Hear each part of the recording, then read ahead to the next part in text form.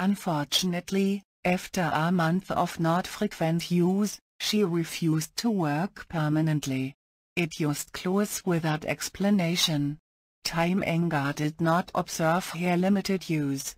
Perhaps I did not manage to quack it completely, but this is only because there is no detailed manual for installing it, unfortunately. Comrades, if someone uses this program without any logs, share which version you are using and absolutely the link to it. I will be very glad. Thank